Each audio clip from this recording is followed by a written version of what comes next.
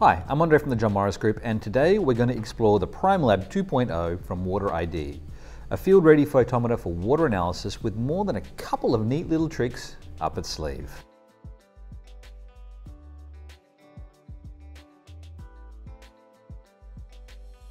So there are a lot of products in the market for no fuss testing of water quality. You could go for a trusted brand, you could buy a cheap and cheerful, and then there's this crafted little beast, and it might just be the neatest field or small lab spectro I've ever used.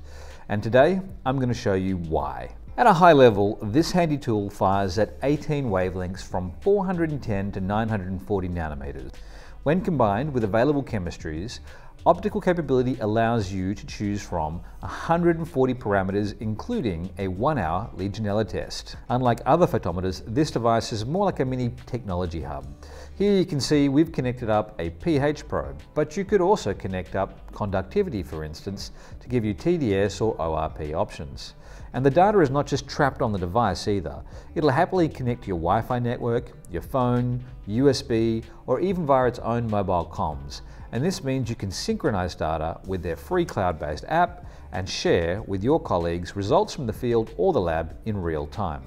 There's a 5.5 inch color touchscreen and the UI on this thing just rocks. It's not just intuitive, I'd go as far as to say the device will almost guide you through every step of the process. It's clear no energy has been spared on this design aspect.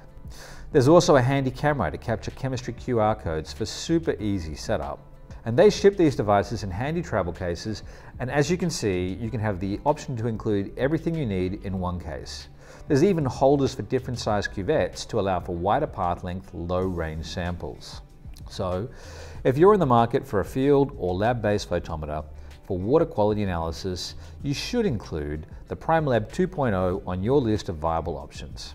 I think it's well built, very capable, and super easy to use. Don't forget, John Morris is here to help you succeed with technology. Thanks so much for watching, and bye for now.